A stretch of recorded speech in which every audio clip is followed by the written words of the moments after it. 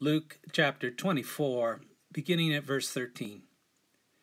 Now on that same day, two of them were walking to a village called Emmaus, about seven miles from Jerusalem, and talking with each other about all these things that had happened. And while they were talking and discussing, Jesus himself came near and went with them. But their eyes were kept from recognizing him. And he said to them, What are you discussing with each other while you walk along? And they stood still, looking sad. Then one of them, whose name was Cleopas, answered him, Are you the only stranger in Jerusalem who does not know the things that have taken place there in these days? He asked him, What things? They replied, The things about Jesus of Nazareth, who was a prophet, mighty in deed and word, before God and all the people, and how our chief priests and leaders handed him over to be condemned to death and crucified him. But we had hoped that he was the one to redeem Israel. Yes, and besides all this, it is now the third day since these things took place. Moreover, some women of our group astounded us. They were at the tomb early this morning, and when they did not find his body there, they came back and told us that they had indeed seen a vision of angels who said that he was alive. Some of those who were with us went to the tomb and found it just as the women had said, but they did not see him. Then he said to them, Oh, how foolish you are, and how slow of heart to believe all that the prophets have declared. Was it not necessary that the Messiah should suffer these things and then enter into his glory? Then, beginning with Moses and all the prophets, Jesus interpreted to them the things about himself in all the scriptures. And as they came near the village to which they were going, he walked ahead as if he were going on.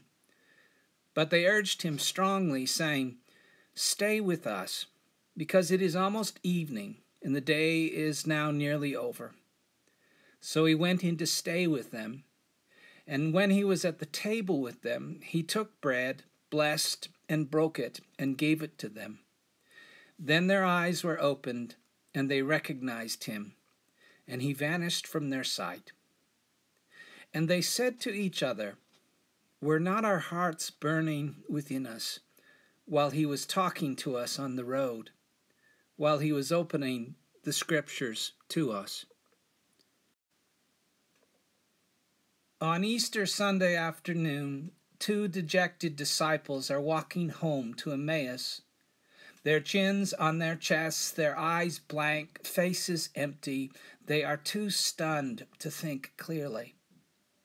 Jesus joins them incognito and asks what they've been talking about. They can hardly believe it. Where have you been? How can you not know what's going on?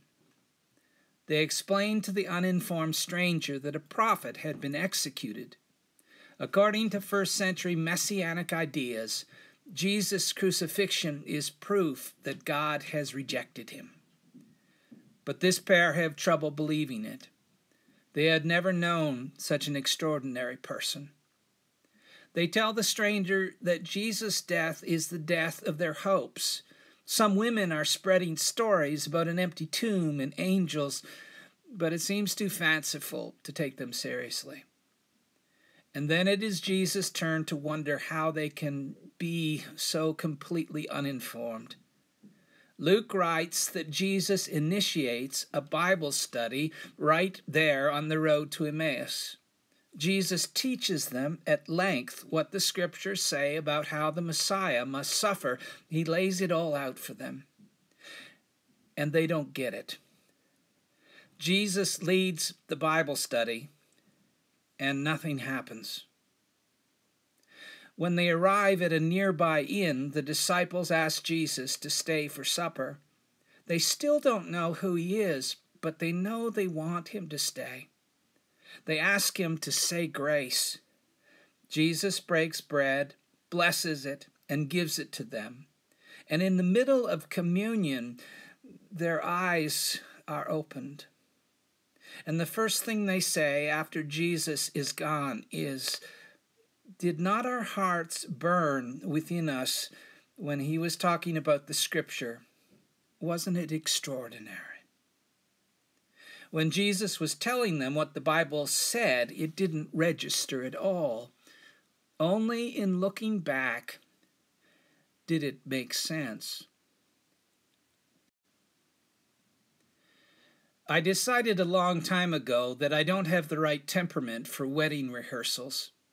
I often find them frustrating. It's like directing kindergarten kids in a Broadway musical. Mothers get upset.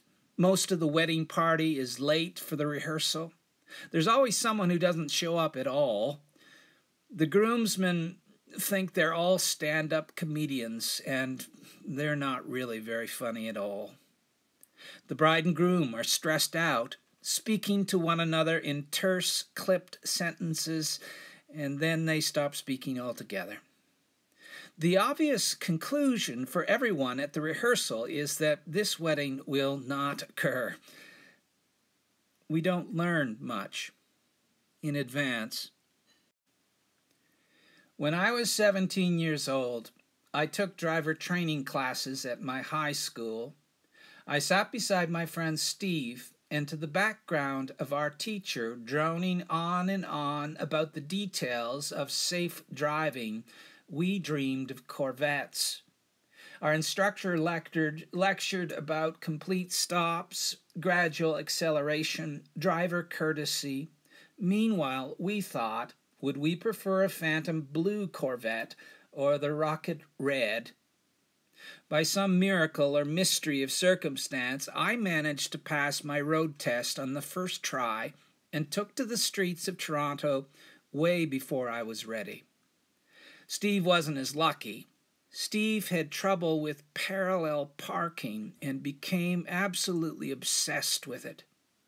On his second road test, he was so anxious to get to the parallel parking that he ran the first stop sign he came to. On his third attempt, he managed to parallel park almost perfectly, he said. He backed the car in gently, turned the wheel. The examiner said, Fine. And in almost unbridled joy, Steve left the gear shift in reverse stepped on the accelerator to pull out and backed into the car behind him. On the fourth attempt, Steve passed his road test. We don't learn much ahead of time, though. The teacher at your childbirth classes explains over and over the type of breathing to do when contractions are several minutes apart and as they get closer together.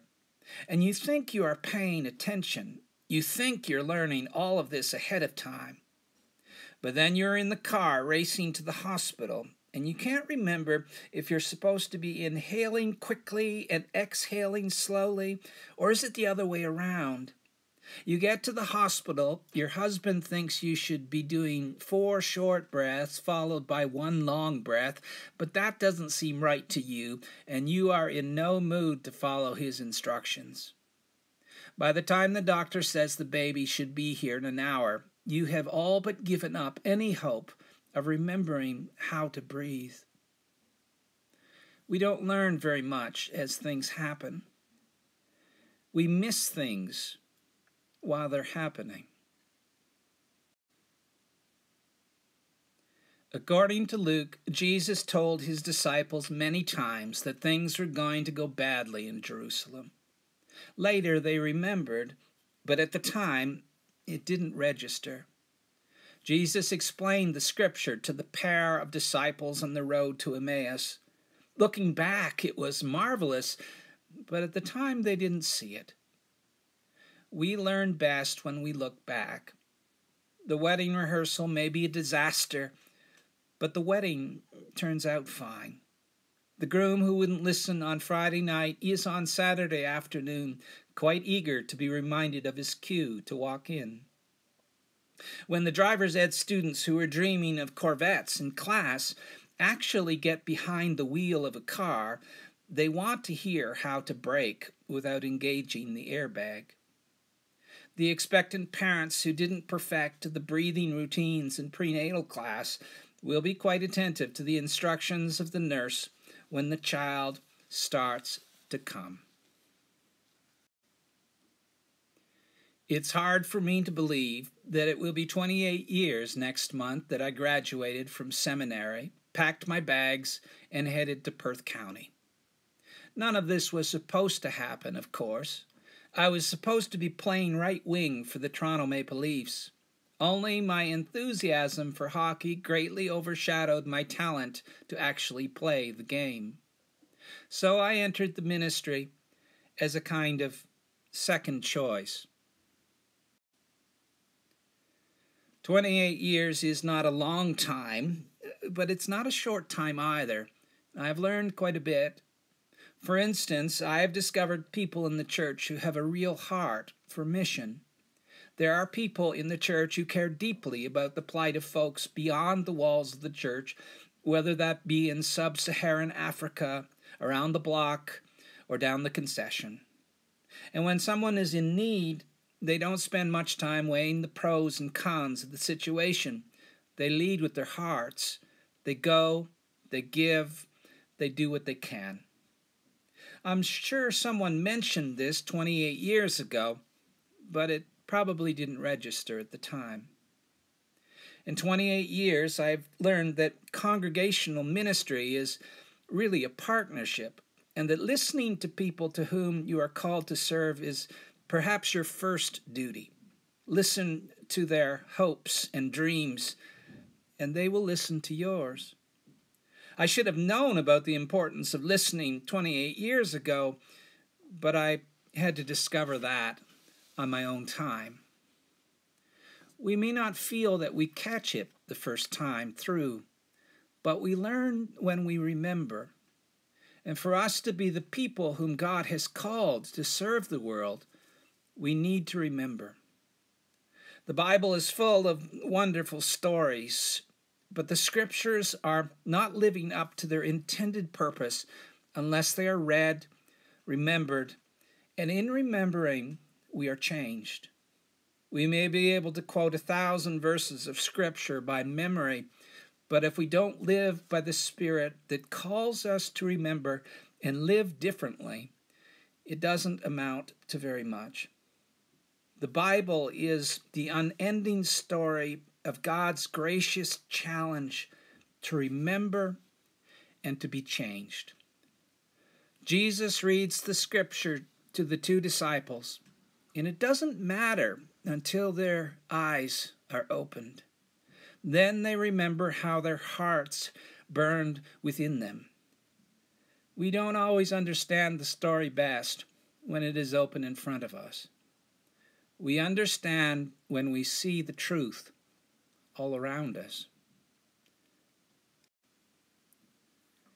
If you listen closely to your lives, you will remember.